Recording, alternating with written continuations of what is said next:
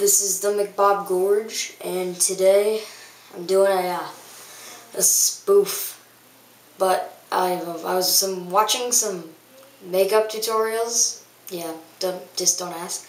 And um, I noticed that there weren't very many funny ones, so I've decided to do one. And don't make fun of me because I don't know much about this stuff. So first, you're gonna want to use this stuff, which we're going for the nature look and this is green, and I believe it's green um, eyeshadow.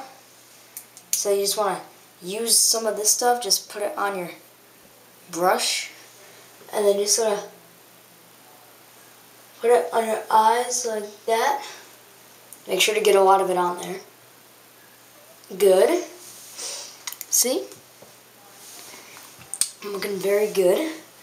Okay. Then I just sort of put it on like that. and then, last but not least, I'm going to use some of this eye liner and with, why can't I put the cap on them? That's stupid. You're just going to put it on your eyes like that. Oh, it's not coming out. Um, this isn't working. Oh, supposed to use this? Oh, yeah. So you just want to use this. Put it on like that. And look at how pretty I look. Oh my god. I just feel, I feel like Mother Nature. I don't know what else I could possibly do to make me feel more like Mother Nature.